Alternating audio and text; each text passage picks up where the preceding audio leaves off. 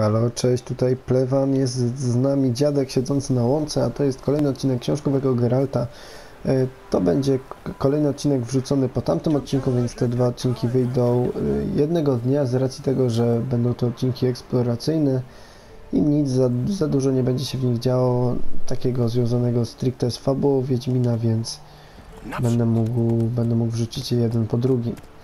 E, Pokonałem wcześniej piratów, była ze mną której w tym odcinku niestety nie będzie, ale pojawi się jeszcze później, e, bo będę korzystać z jej wiedzy dotyczącej e, Słowian i też, żeby, żeby troszkę rozbudować, rozbudować Wam tę serię. Co do serii o książkowym Geralcie, to te odcinki będą się pojawiać. Postaram się wrzucać co najmniej 3-4 w tygodniu. Mam nadzieję, że może uda się troszkę więcej jeżeli będą to odcinki eksploracyjne, bo ich nagrywanie zabiera mi najmniej czasu z racji tego, że mogę je nagrywać w zasadzie w każdych okolicznościach, a przy okazji odcinków fabularnych to już czasem muszę się trochę pobawić z nimi, żeby było troszkę lepiej słychać, szczególnie teraz, gdy, gdy mam te problemy z konsolą. Dobra, e, chcę sobie zobaczyć jeszcze te pozostałe znaki zapytania na wybrzeżu, żeby już Wam tak podsumować i skończyć, więc wybiorę tą drogę Odpocznij. i zobaczę, gdzie mnie ona doprowadzi, gdzie mnie doprowadzi wiedźmiński szlak. Geralt łyknął łyk y, soku jabłkowego i ruszył przed siebie na kolejną wiedźmińską przygodę. Dobra, jest tu jakaś wieś, o ile się nie mylę, po prawej stronie. Chyba są to podgaje. Więc tak, to są podgaje, więc chyba po, pojechałem nie w tą stronę, którą chciałem pojechać. Tak jest, po prostu odbiję sobie teraz w lewo. Przejadę przez wioskę i wprost na trasę. Dobrze będzie naprawić ten miecz, gdy już jestem w podgajach.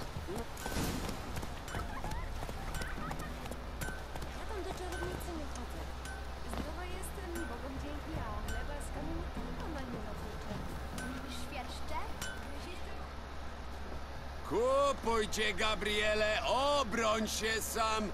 Nie wychodź z domu bez poręcznego samostrzału marki Gabriel! No pewnie nie zamierzam wychodzić z domu bez samostrzału marki Gabriel. No na razie z nim nie zagram gwinta, może później jak odwiedzę tą wioskę. No niestety moja konsola chodzi teraz bardzo głośno, mam nadzieję, że nie będzie tego słychać na filmie aż tak bardzo jak, jak ja to słyszę w tej chwili. No ale dobra, powiedzmy, że chcę, żeby, żeby naprawił mi miecz, bo na pewno przyda mi się Mugrim, który będzie naprawiony.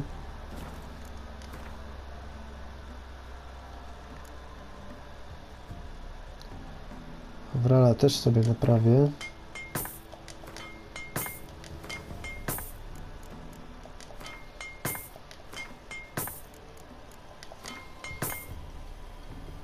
A resztę tych niepotrzebnych rzeczy to po prostu mu sprzedam. Zobaczę jeszcze co on ma na składzie.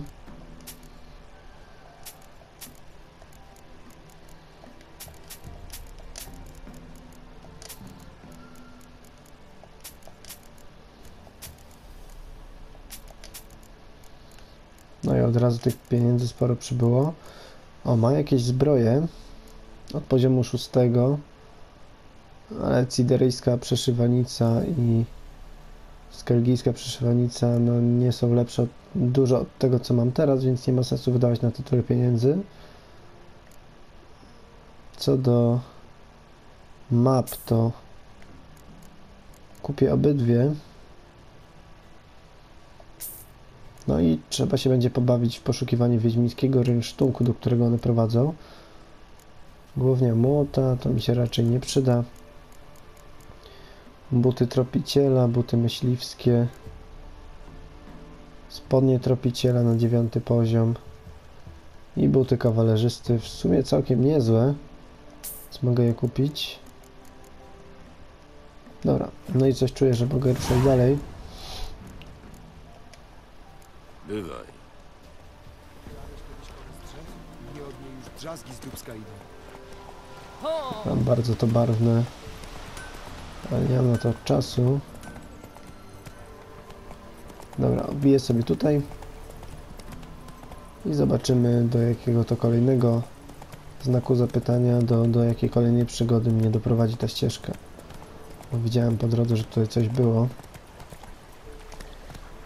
Zwykle pięknie w tym Welen.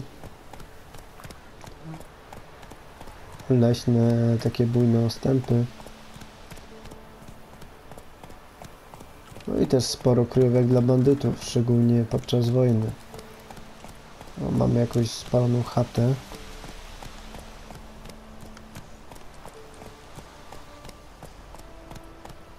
Już nadpalono.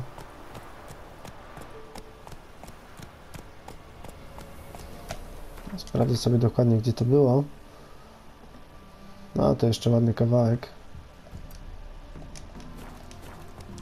Być może jeszcze jacyś piraci się uchowali, więc trzeba będzie to zbadać. Po tym jak to Geralt dokonał rzezi na piratach na wybrzeżu. Chcę to dokończyć. Dobra, okoliczne lasy są pewnie pełne potworów i bandytów. O, mam tu obozowisko. Proszę, dezerterzy. Trzeba będzie ich nauczyć Moresu.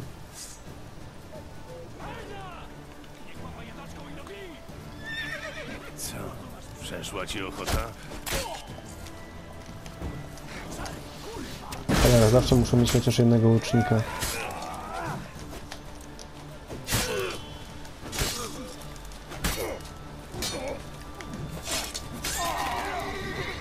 Dobra, pokonany, zostało dwóch. Ten z toporem będzie stanowił zagrożenie, więc muszę go wyeliminować jak najszybciej.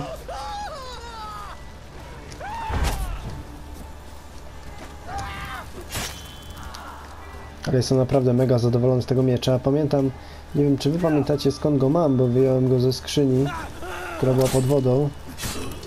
To była skrzynia e, w tym gorszym Welen, czyli tam obok tych wszystkich pól bitew, tam gdzie zaczynamy naszą rozgrywkę w Welen. Wyłowiłem go e, ze skrzyni, która leżała obok, e, obok przystani. To jest właśnie siła Wiedźmina 3, że można tutaj znaleźć e, wiele, wiele fajnych, cennych przedmiotów w dość niepozornych kryjówkach. Dobra. O, kolejne obozowisko bandytów. Ja mam wrażenie, że na tym wybrzeżu to jest jakieś po prostu zatrzęsienie ich.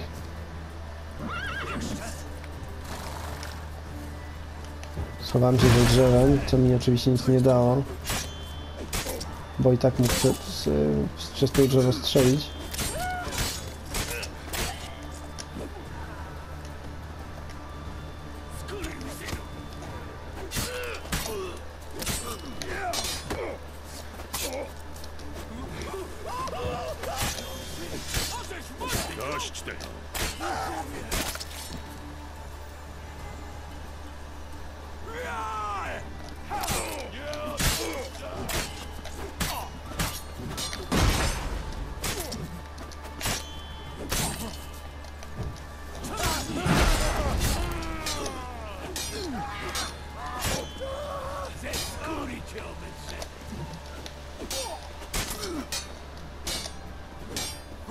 Kurde, bardzo dobrze się bronią.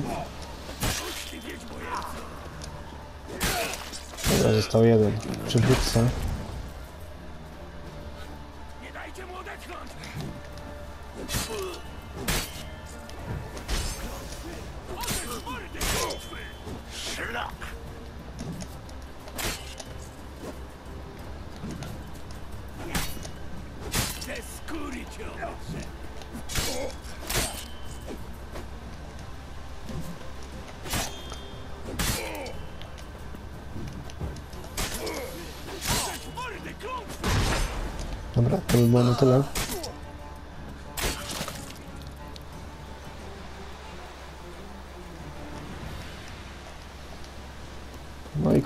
Istoty zaszlachtowane wiedźmińskim mieczem, mostem jak brzytwa.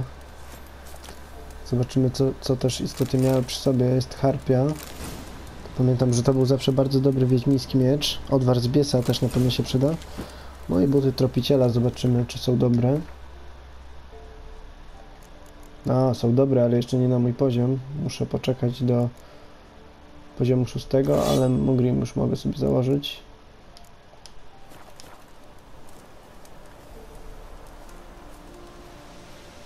Mam dwa fajne, legendarne miecze, mam dobrą zbroję. Opłacało się trochę pochodzić po Welen, zdobyć ten rynsztunek.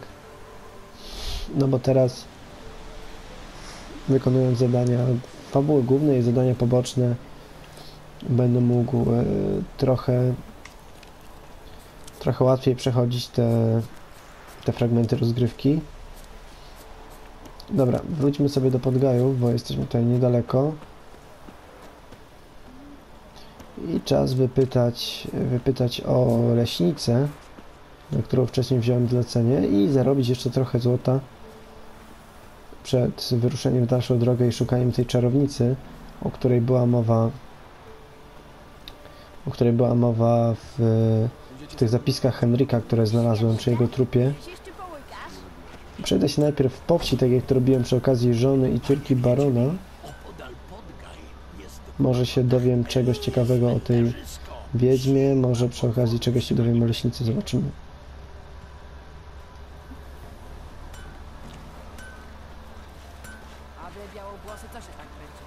Mam jakieś dwa znaczniki na mapie. Dała ci czarownica ten lubczyk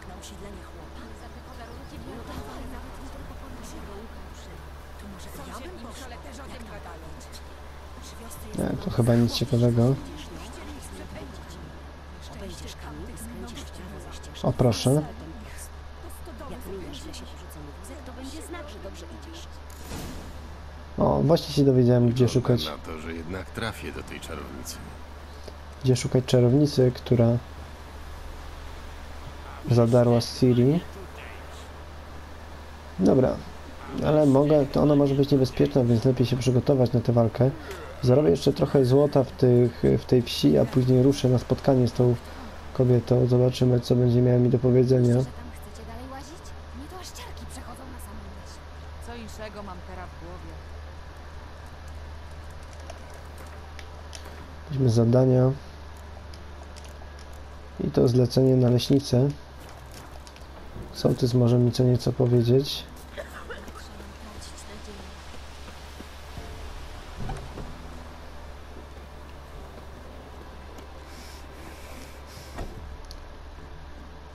Witaj.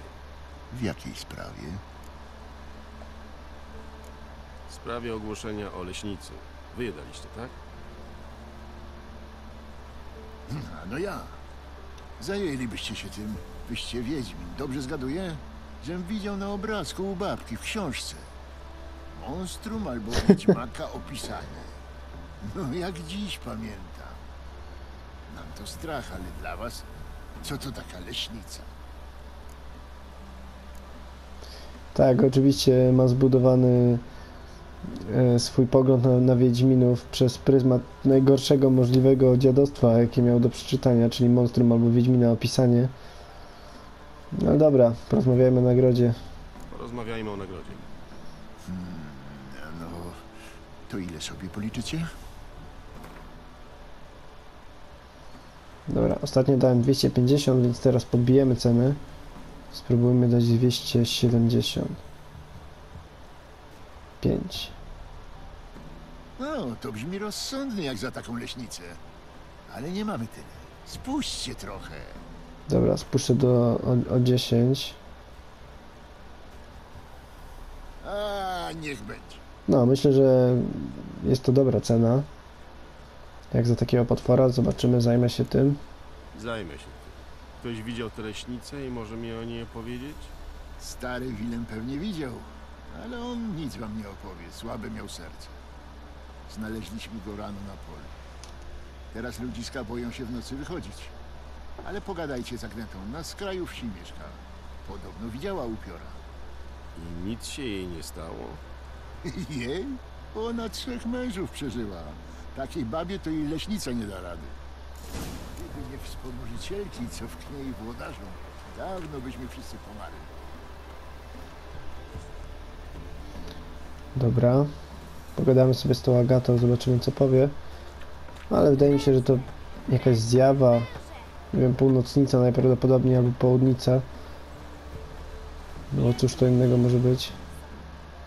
Podobno możesz mi opowiedzieć coś o upiorze, który nawiedza wioskę. Tak, widziałam ją. Widziałam leśnicę, jako i teraz ciebie widzę, Wiedźminie. Jak wyglądała? Spróbuję ją dokładnie opisać. No, po prawdzie aż tak dobrze to jej nie widziałam. Ciemno się robiło, jakiś kształt blady mi zamajaczył, jakby para. Podeszłam bliżej, a ten obłok gęstnić zaczął i zobaczyłam coś jak twarz za mgłą. I co było potem? A co miało być? Myślałeś, że czekać będę, aż mi się cała upiorzyca pokaże? Pobiegłam do wioski wszystkim opowiedzieć. Rozumiem. Mówisz, że ukazała ci się tuż po zmroku? To ważna wskazówka, dziękuję. Bywaj. Czyli północnica. Północnice okazują się po zmroku, bo nie cierpią promieni słonecznych, są skazane na wieczną tułaczkę w ciemności, na taniec. No dobra, ale jeszcze upewnijmy się, czas ruszyć na pola i przeszukać je za pomocą wiedźmińskich zmysłów. Być może znajdę coś, co potwierdzi moją teorię. Albo ją obali i się okaże, że to jest jednak trochę inny rodzaj potwora. Nie wiem, może jakiś wampir, ale nie, bardziej brzmi to na jak upiór. Dobra, zobaczmy. O, jest jakiś ślad. Nawet kilka. Szła tędy kobieta. Boso. Tu jakiś fragment ubrania. Tkanina mogła pochodzić z sukni. Musiała zaczepić okrzywy. Odstępy świadczą, że biegła, dlatego rozdarła suknię. Kto się gonił? Oho. Zaczyna się robić ciekawie.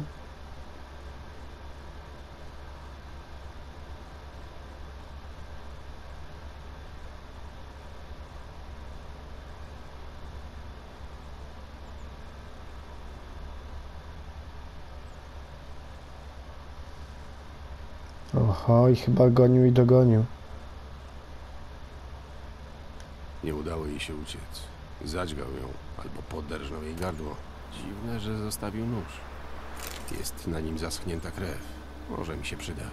A tędy ciągną zwłoki, ślady są wyraźne.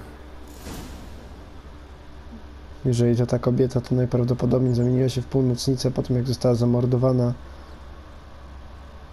na polach i teraz wraca, żeby wszystkich prześladować. Trzeba będzie, podobnie jak w przypadku tej bransoletki, zająć się szpilą, która wiąże ją z tym światem. To będzie chyba ten zakrwawiony nóż. Narzędzie zbrodni. Morderca zaniósł ciało do lasu i zakopał. Grób jest płytki, tak jakby się śpieszył. Coś wystaje z ziemi. Jakiś list?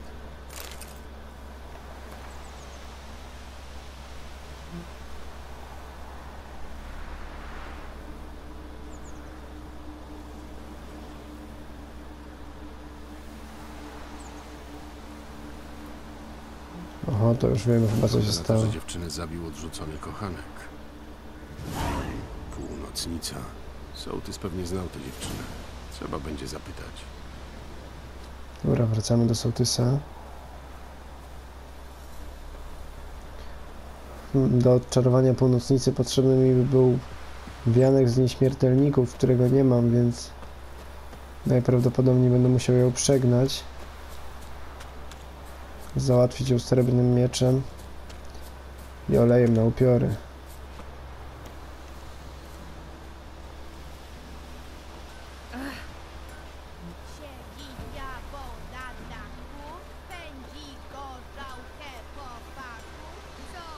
Dobra, jest i sołtys.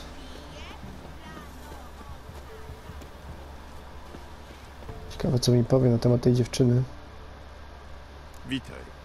W jakiej sprawie? Znaliście Zulę i Bukaja? Pewnie mieszkali w tej wiosce. Dobre bogi, skąd wiecie? Czary to... Od tygodnia żeśmy ich nie widzieli, jakby kamień w wodę.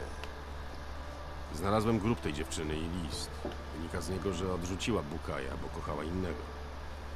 Zula i Antek? No tak. A myśmy myśleli, że uciekli razem szukać szczęścia na północy. Bukaj wyjechał jakiś czas potem. Czyli, że... Znaczy się, ta upiorzyca to nasza Zula? Nie może być. Taka dobra to była dziewczyna. Taka ładna. Wiecie może, gdzie się spotykali? No, młodzi to zwykle na polankę chodzili. Tam na zachód od wsi, za polami. Zula.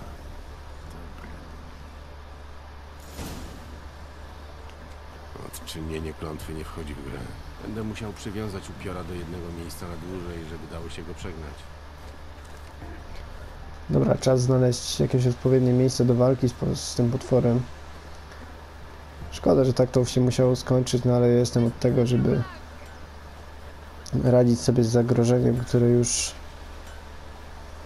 z jakiegoś powodu się pojawiło. No w tym wypadku po raz kolejny ludzka niegodziwość i morderstwo sprawiło, że ludzie mają problem z potworem. Szkoda, że nie da się osądzić tego bandziora, który uciekł z wioski po tym, jak zamordował tę dziewczynę, ale może jeszcze się gdzieś pojawi podczas rozgrywki i będzie można się nim zająć.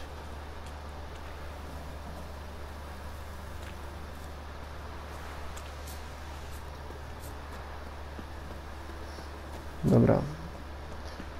Tamto miejsce będzie dobre. Jeżeli się tam spotykali, to łatwo będzie przywiązać tam jej ducha na stałe. Okej, jest ognisko. Więc spalę list i, i krew z noża, żeby ujawiła mi się potworzyca. Ale najpierw odpowiednio się przygotuję, bo z tym potworem na pewno naprawdę nie ma żartów. Olej przeciwko upiorom nałożę, nałożę na ostrze.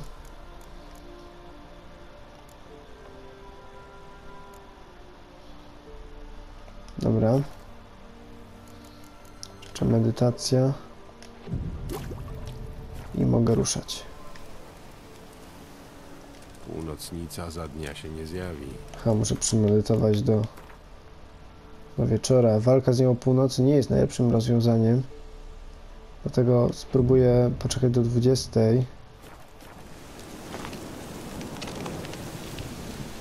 Północnica za dnia się nie zjawi.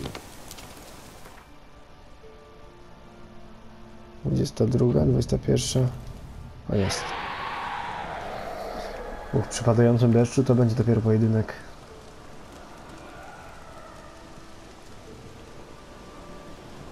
No i jest.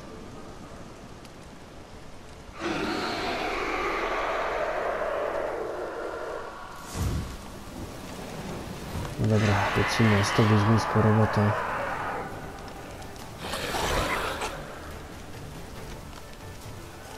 Trzymać się planu, to wtedy przeżyję ten pojedynek.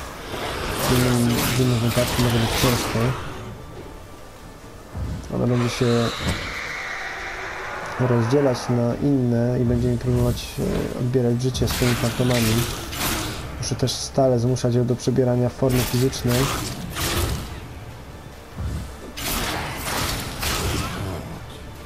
I nie zadawać więcej niż dwóch, trzech ciosów, bo inaczej będę wystawiony na kontrataki. Teraz jak najszybciej muszę wykończyć jej klony, więc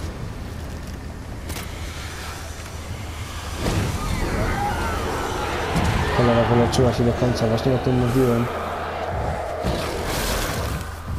No i tak samo nie udało mi się obronić się przed kontratakiem.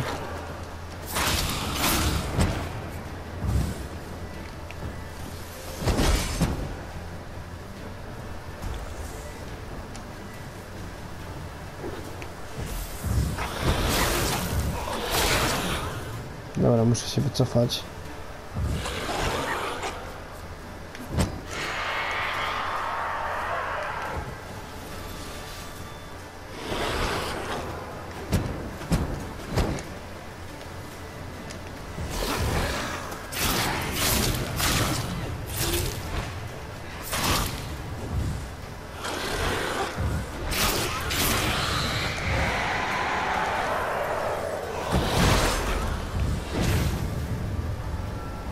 Teraz muszę działać znacznie szybciej.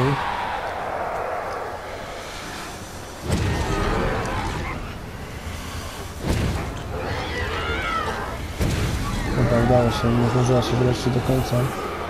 To już jest jakiś plus.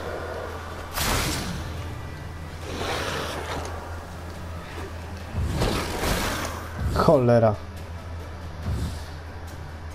No i tak to się właśnie kończy. Pierwszy raz zostałem zabity przez potwora z zadania głównego. No nie trzymałem się dobrze planu. I tak to się kończy. Zresztą też już trochę późno nagrywam ten odcinek, więc jestem trochę zmęczony, ale tak czy siak zepsułem to e, zbyt, e, zbyt pochopnie używając miecza. Podbiję się teraz gromem i spróbuję jeszcze raz nieco inaczej podejść do tej walki. Powinno pójść znacznie, znacznie lepiej. Zdecydowanie za wolno z, zbijam jej pasek życia. Przydałaby mi się petarda, księżycowy pył i postaram się jak najszybciej zrobić, gdy będę miał ku temu okazję i dostanę, dostanę odpowiednią recepturę.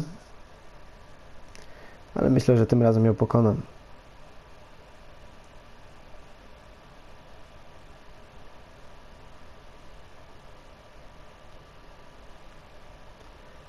No, północnice to są trudni przeciwnicy, tak samo jak południce. One walczą dosłownie w ten sam sposób. Ale jednak e, podoba mi się to, że w Wiedźminie 3 zdecydowano się na wzmocnienie tych potworów. Bo w Wiedźminie 1 takie potwory jak właśnie kuroliszki, bazyliszki, południce, północnice no były za, za, za często spotykane zdecydowanie. Oj Boże, naprawdę muszę znowu pytać o to sołtysa. Dobra, pobiegnę tam jak najszybciej, żeby w tym odcinku jeszcze z nią zawalczyć. No i muszę na przyszłość wiedzieć, że przed e, takimi ważnymi e, ważnymi zadaniami, przed ważnymi walkami, żeby grę zapisywać, bo jednak nie chcę wam pokazywać dwa razy tego samego, jak biegnę do sołtysa i z nim rozmawiam. Witaj. W jakiej sprawie? Znaliście Zulę i Bukaja? Pewnie mieszkali w tej wiosce. Dobre bogi. Znalazł... Przewinę sobie ten dialog, żeby już was nim nie męczyć. Jesteś ten białowłosy. Odczynienie klątwy nie Ruszam wchodzi z w grę. powrotem. Będę musiał przywiązać upiora do jednego miejsca na dłużej, żeby dało się go przegnać. Ale dobry Wiedźmin uczy się na błędach.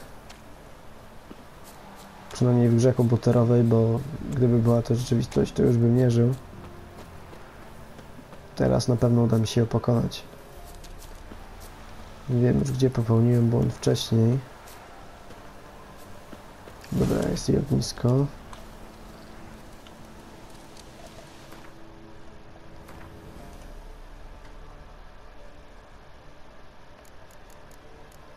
Olej przeciwko upiorom.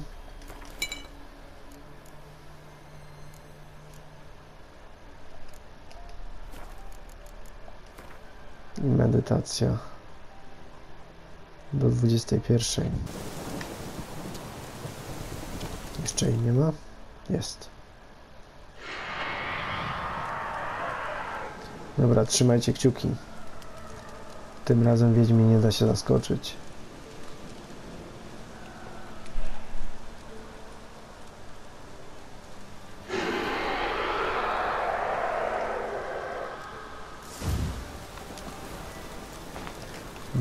Od Przeszła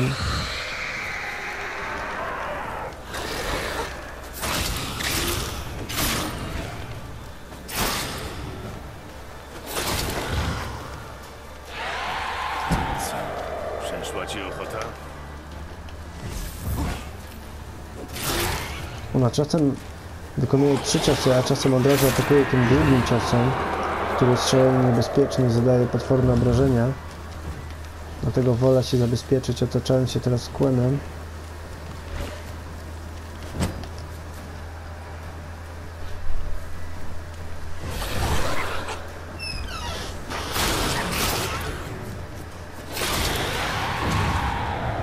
Dobra, rozbiła się na trójkę.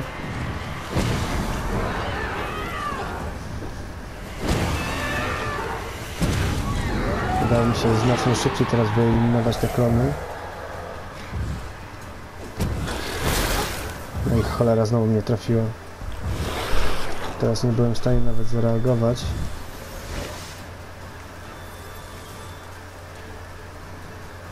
No i mój odkurzacz się uruchomił. Chyba sam jest też buduje napięcie w walce.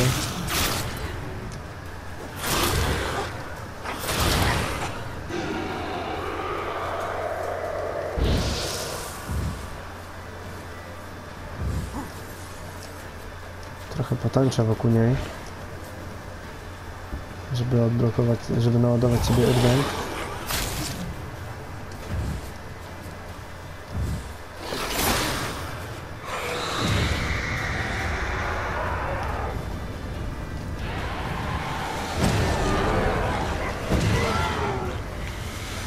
O, teraz było idealnie.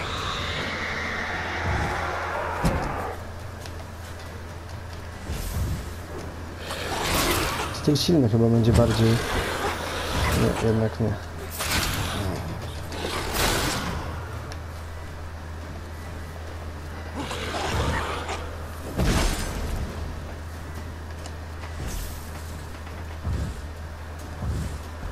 Dobra, trzeba zużyć pusz- puszczyka. Muszę bardzo dobrze rozegrać końcówkę tej walki.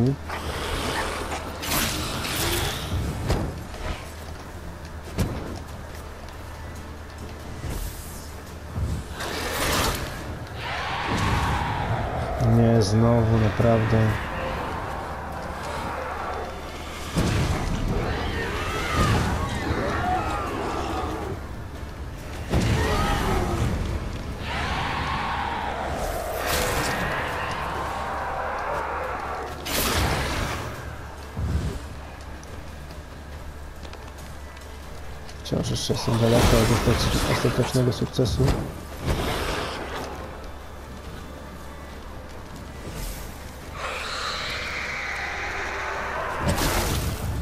No nie, no nie wierzę. Jednym ciosem w zasadzie zabiera mi cały pasek życia. Więc jak trafi mnie jeszcze raz, to będzie po mnie.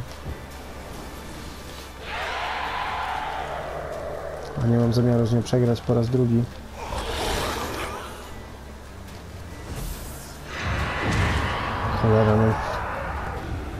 Staje się już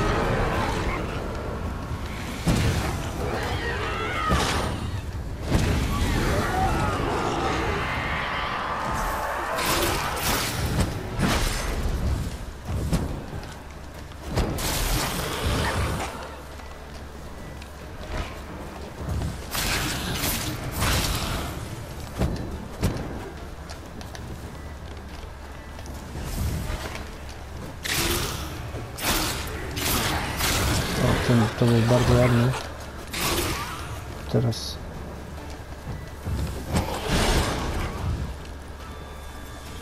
Ostatni puszczyk.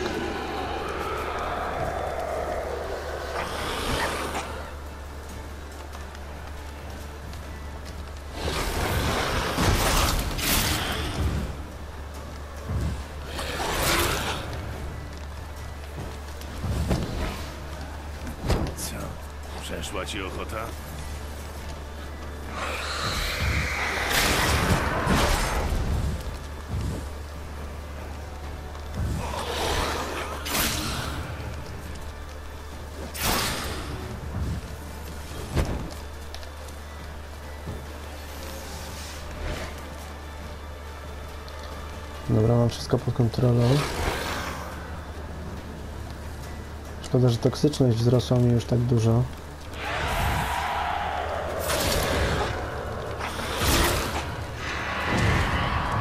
Nie, teraz znowu się wyleczy.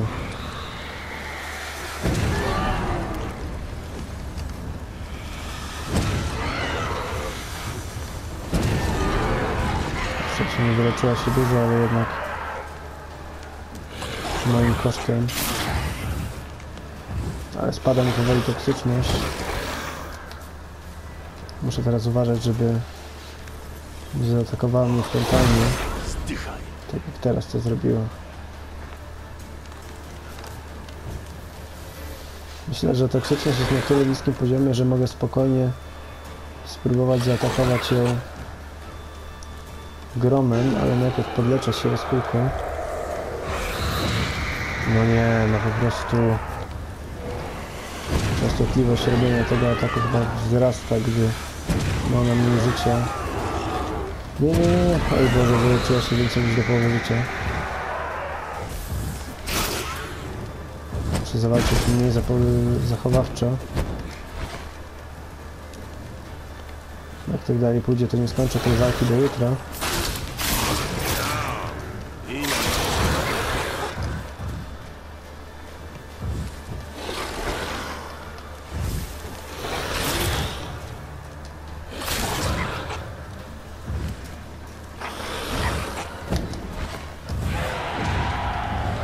No i znowu.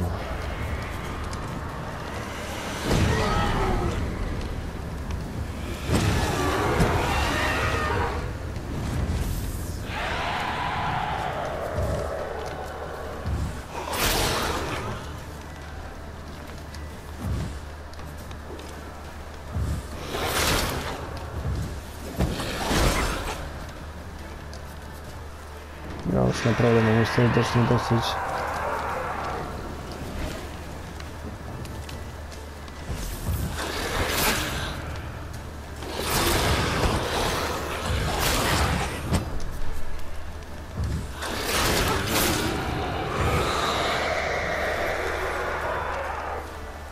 muszę to skończyć szybko, więc...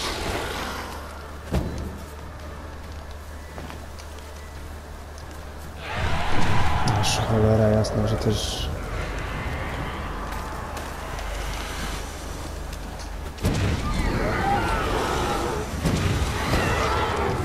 Jest słabsza, tym wolniej odnawia to życie. To jest cenna informacja. Specjalnie na, na koniec walki zostawiłem sobie grom, żeby wykończyć ją kilkoma ciosami. Z którymś innego.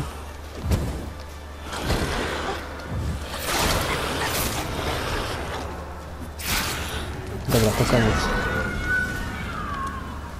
Zobaczmy, co tam ciekawego z niej wyciągnę. O, zapomniany miecz wranów, proszę bardzo.